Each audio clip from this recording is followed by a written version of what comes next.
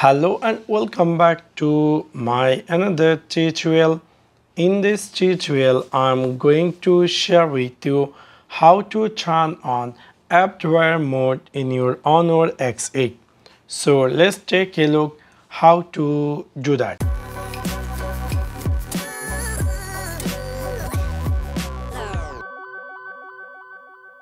You might be recently bought this Honor X8 and you might be jump over from different smartphone like Samsung or any other smartphone.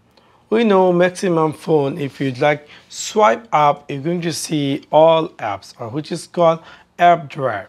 In this Honor X8 if you go swipe up there is not appear app drawer or not appear all apps. You have to just swipe left to right to see all your apps which is really quite annoying. And you might be looking for how to turn on app drawer mode. It's really very easy and simple.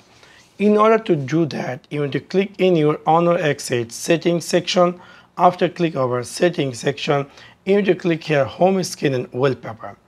After click over home screen and wallpaper, you're going to find there something say home screen style choose click over there and then I'm going to see by default it is standard mode.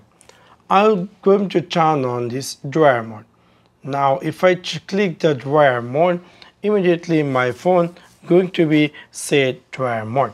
Now if I swipe up I'm going to see all my apps in my phone going to be appear with a new style which is really quite interesting.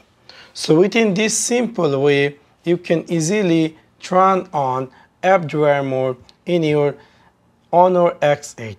So that's for now. Thanks for watching my video. See you next one. Peace.